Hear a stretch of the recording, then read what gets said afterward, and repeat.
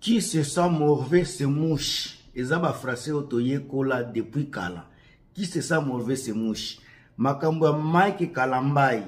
na mze kindingu naza kopesela bino na émission oyo mais alors bino bao bosepelaka na baémission na ngai botya bajeme balaki bakoma makambo nyonso bino bao botyaki bakoma bacommentaire na na ba video na nga passé en tout cas je suis fier de vous merci na bino bato nyonso oyo boza kolanda ba émission na nga boza ko boza kotia ba commentaire boza ko liker merci vraiment ça me va tout droit au cœur alors makambo ya Mike Kalambayi eza Mose Kindingu te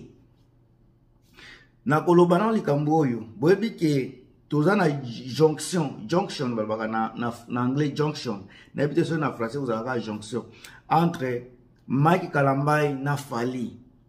connexion ezalaka wana ce sont des amis alors Adidas ya Ferre Gola Adidas ya Ferre Gola nazoloba yango chaque jour eza kombati makasi soki bosali attention te na kati ya bato ya communication baorganisateur ekozala mpe na bato ya fali na kati oyo bakolata elongi ya ki ya kigolois ya basi ya ba ya bato oyo baza balingaka fere me na kati na bango baza bato ya fa, ya fali pupa ba, makambo nyonso boza kosala kuna ezokota kote ya fali bozala prudent makambo oyo nalobaki deja na emission mosusu eza kose realize malembe malembe organisation ya fali ya fere gola eza na bato ya fali na kati eza na bato baza komema ba information epai ya fali ipupa oyo nalobaki te alors qui c'est ça morve semouche eza bafrançais toloba loba toloba toyoka yoka yoka depuis longtemps ezalaka nango wana mais alors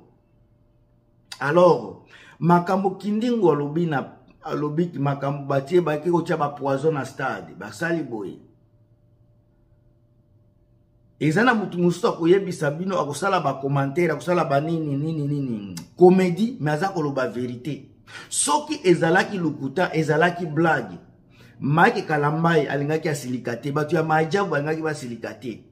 parceke bayebi ke eza na baverite oyo eza kobatama nsima ya likambo wana verite ezobatama nsima ya likambo ya mai kalambai bango bayebi bazo comprendre te pourquoi soit na ndenge nini muze kiningu ake korevese makambo wana yango batie na prison mpo bakanga ye monoko batie na prison bokanga ye mpo bakanga ye monoko mais puis makambo ya prison wana eza kutu makambo wana te eza makambo eza liste molai eza kobenda na moko epuis mosusu epuis misusu mpo ekomisa muze kindungu na prison eza makambo ebele botala relation ya adidas fali ndenge bozoloba chaque jour aza kobundisa adidas bato ya fali baza na, na, ba, ba, na organisation ya adidas ya fere gola baza kopesaka bainformation botala kikamaraderie ya mike kalambai na fali pupa chaque jour bango bapire master pena sika muzeki ndenge oyo aza kodefendre fere gola matin midi soir aza wana mpo na kosala promotion ya fere gola matin midi soir sika ye bato ya fali baza kobanga ye bo, par preve boyokaki nati lokola alobaki akoya kosala émission na muze kindingu ça va faire mal nani nati lokole ayebi pourquoi alobaki likambo wana nalobaki deja makambo wana depuis kala botala sika connexion donc muze kindingu aza na centre nati lokole azolobela kindingu ke ye akosala fali mabe d'autre côté afali bayebi ke kie muze kindingu sikeke eke kokoma kote maye kalambai maye kalambai mpe bamoni ke mm, ekomi occasion sika mpo badécourage baoyo bazosala promotion na marketing ya ferigola il faut babanda kostope bango parce que fali ye moko azokoka su promotion na ye moko te mai kalamba ayebi ke soki bamuzeki ndenge batikali libanda bariske kodestabilize promotion na ye alors komba ebandi na kati ya bato ya fere gola kuna mpe eza na bato ya majabu baza na kati bato ya majabu deja soki baza pre ya baza pre ya kodefendre um, Mike Kalambayi, cela veut dire bakozala pe prêt ya ko défendre Fally Ipupa. Parce que soki boza bato ya fere, boza wana bafuti bino deja bozosala travail ya fere. Makambo nyonso etali fere boko défendre. Même Mzee Kindingu boko défendre ye parce que aza parmi ya bato bazosala marketing ya fere gola. Bino pe ba communicateur kosala communication eza déjà marketing vous êtes boza kozosala nini groupe moko parti moko bozosala nani branche moko alors soki bato ndambu ya kati ya groupe ya fere gola baza kodefendre uh, baza kodefendre mike kalambaye au detriment ya muse kindingu seke ya likambo yango naza kolobela bino makambo oyo soki botali bien te fere gola bino bagolwa ya series ya sirsir bino bamere ba, ba, ba fofana bino banani lisusu ba eliane posho na niveau ya irlande ba, a, ba madi wembo ba jimi wembo ba joel ndelo bino bato oyo oh, bosutonaka mpena bagolwa fere gola bosala attention après adidas ça risque de péter très grave après adidas ça risque de péter trop grave na makambo ndenge eza kotambola eza na bato bariske koya kotia babato dans la roue dans la roue ya, ya adidas avant le jour avant le jour j bozala près mike kalambai akolinga te parce que ye akoma opposant akoma kosala bakoma ekoma neti fali na fere mike kalambai na moise mbiye donc bapoids lourd wana kote oyo ya miziki na kote oyo ya miziki profane bakomi donc eza deux camps moise mbiye aza moto ya, ya fere mike kalambai aza moto ya fali donc mike kalambai andimi kokangisa motu parceke eza groupe eza klike na bango objectif ya bato ya fali eza kokangisa bato nyonso bazosala marketing ya, ya, ya ferigola kobloke bango kodestabilize bango mpo marketing ya ferigola ekende liboso te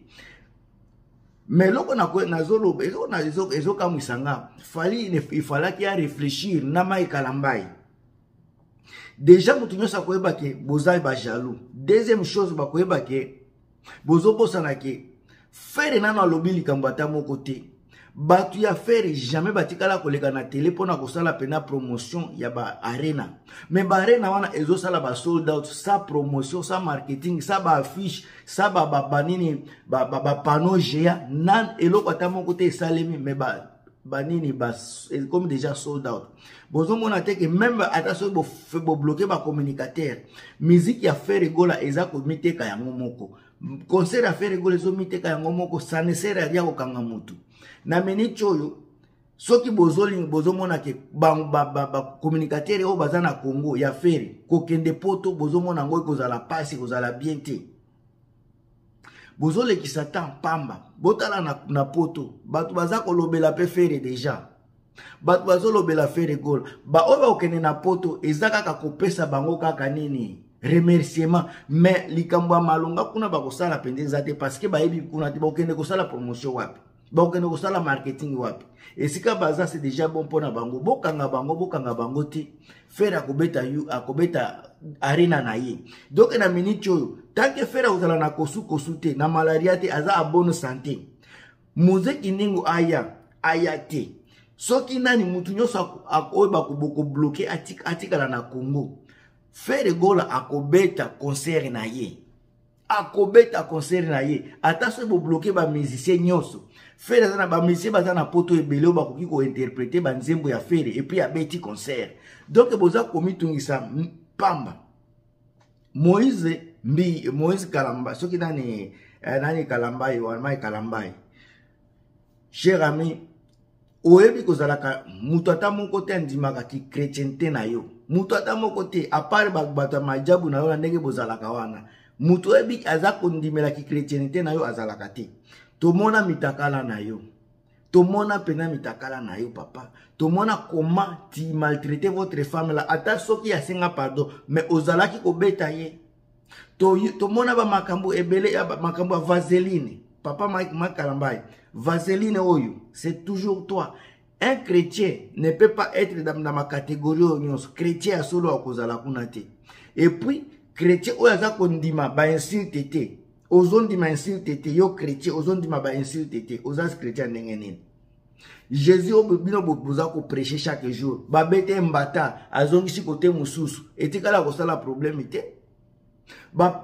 bino bakretien ya kilelo bozoyokisa bakretien ya solo soni bino sika boza kotelema liboso ya bato avec autorité ke bino boza basali ya nzambe mais incapable ya koresire ya bacoup ka obaye baza kobeta bino baku boza boza bana bana nzambe ozoloba oza mwana nzambe me baku ya pamba pamba motu loko ya ya so moto alobi oza moto ya kisi où est le problème atake mwana nzambe est ce que ça ça peut te gêner mpo obanda kokangisa bato soki moto alobi oza moto ya bakisi ça, ça fait quoi ça fait quoi parce que déjà oza ko se sentir que oza mutu ya bakisi ozo se sentir que oza mutu ya bien te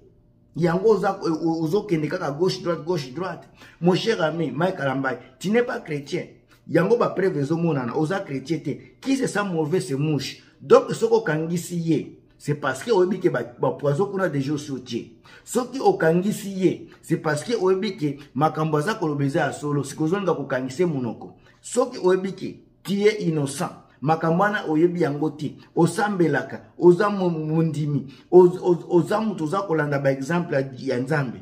okoki jamais kokangisa ye yango naza koloba lisusu na repete qui se sent morve se mouche maye kalambai oza motema mabe oza mondimi to oza motema mabe oza na jalousie na komona ke fere gola aza kokende bien na makambo na ye ya, ya baconcert oza okomi mpe donc okomi dépasse okomi okoti na po ya fali bino boyokani boza na plan ya kodétruire makambo ya fere yo atake mondimi soit disant mondimi oyo bibaoyo balobelaka kimondimi ozokota na babassesse moko inexplicable conseil na yo ya, ya zenit wana mpo na nga soki bakobloke babloke yango okende kobeta yango vraiment atake nani oza motema mabe oza vraiment zabulu sata ya solo nde yo parceke mutu mutu oyo aza afingi yo yo oza mwana nzambe bafingi yo esali yo nini babeti yo kotoyo pesa kote mosusu soki oza mpena mondimi bapeti yo gauche zongisa droite nga mtuna bino gilmas oyo nalobaki te nazoloba toujours baverité